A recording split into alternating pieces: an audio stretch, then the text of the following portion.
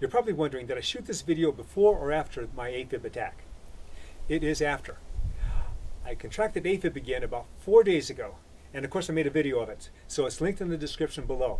I talk about what happened during it, what happens the rest of the day, and what happened the day after. Setting that aside, let's talk about building leg muscle at home.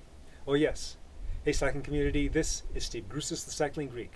With Masters Nationals for 2020 now being off the table because of COVID, I am now focusing on next year. Part of my focus is going to be on building leg strength, building leg muscle. There are two main reasons why I'm doing that, other than building leg strength, to be stronger on the bike. The first is based on a video I made a little while back, and I'll have that linked in the description below, on the effects of aging on the older athlete. In it, I talk about how after a certain age, the VO2 max declines about 1% a year. I cited a study that if you factor out the effects of muscle loss, then that VO2 max is really only about a third of a percent per year. The second reason why I'm doing this is because of balance. Cycling is a linear sport. It doesn't have that explosive lateral movement as let's say basketball does. Basically you're sitting on your butt and just going in one direction. Unless you're doing a lot of sprint work or big gear low cadence work, you're probably not building a lot of muscle. You may have noticed an older individual uh, they may all of a sudden turn one direction or the other, or, or they uh, uh, lean down to go pick up something and they don't seem that steady. That's because they're trying to use muscles that they haven't used for a long time and those muscles have atrophied. You'll notice that when I'm demonstrating some of these exercises, I'm not that uh, steady. I'm a little bit shaky. And that's because of the muscle loss from just not using certain lateral type of um, muscle movements. So this program that I made for myself, I actually got from another YouTuber that I subscribe to, AthleanX, and I'll have his channel linked in the description below too. So it is uh, based on four separate movements, doing three sets of those, and each set, each of those movements is going to be different. The commonality is going to be the four categories of movements. I'm going to have an anterior chain movement, posterior chain, explosive, and corrective. Now these movements can be done with or without weights this first month, and I have about another week or so to go for this uh, first month of movements that I'm doing this, is all without weights. Now, if this wasn't a COVID situation and I was in the gym, I'd be real tempted just to take a bunch of weights, stick them on my shoulders, and then go do some squats. If I did that, I would be crushed for about three or four weeks. And there's things that I want to accomplish on the bike now as part of my training for next year. Now, next month, I'm going to use very light weights and work my way up to this and the month uh, the month after is going to be a few more weights and then in about uh, three months I should be good to go a lot heavier. This first set is going to be a uh, goblet squat with or without a weight. So if I had a weight I'd stick it here and I'd be doing a squat. Now the way I'm doing it I'm doing 10 of each one of these. You can make a circuit out of this but I need more rest between there especially now with this recent AFib thing. So I'm just being a little more careful. So basically I'm breaking the plane Okay, so that was the anterior chain. Now for the posterior chain, I do bridge march. If I had a weight, I would stick it right on my hips. Keep the body straight. Next is the explosive exercise. This one's going to be a body swing. Now picture myself having a weight, but I'm going to be doing it without weights.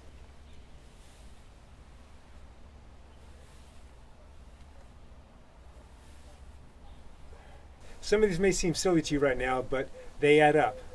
Especially this next one. It's called the Jane Fonda. Some of you that are older will remember this one.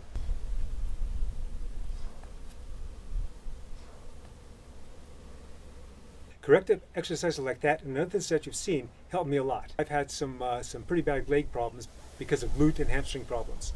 That was slowly going away, and then when I was doing these exercises, they started going away a lot faster. Now we're on set two. Starting off again with anterior chain, reverse lunges.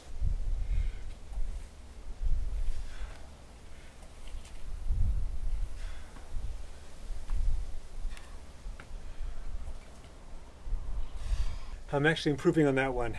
I was a lot shakier before and my balance was always off on it and I'd have to actually catch myself on something. Now posterior chain, sprinter's lunge.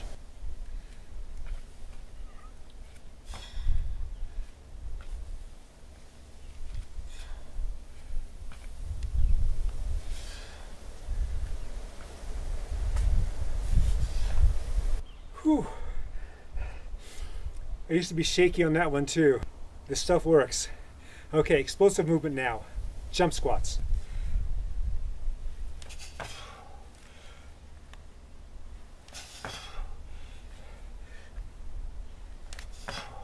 I only do these uh, twice a week, and twice a week is good enough for me. Oh, this is a tough one. This is the, and this is the corrective exercise. This is the adductor slide. And I still don't know if I'm doing this correctly or not.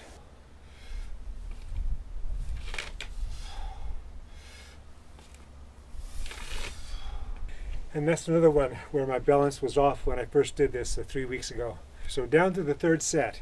For the anterior chain, it's going to be the never-ending squat. That's where you're doing a goblet squat, but you don't go all the way up. You just, you stay always in contraction.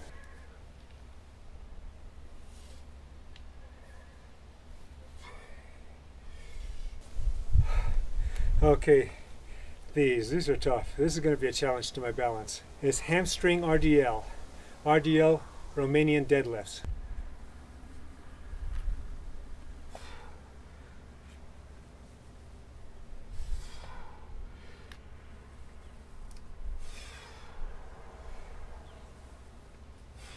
I'm doing a lot better with balance. You can still see how shaky I was, especially with the left leg.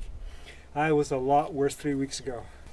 Explosive movement is going to be, it's called glute power RDL.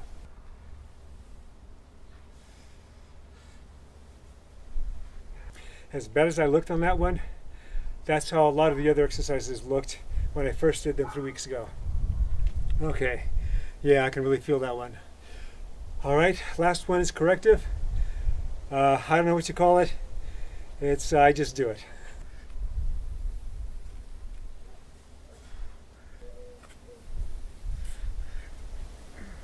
Okay, that's my program.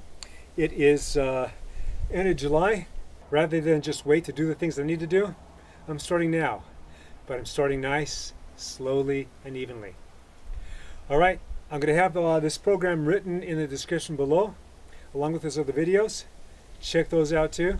I hope you enjoyed this video and got something out of it. If I don't start working out for next year, then when? All right, comment, like, subscribe. The Cycling Greek.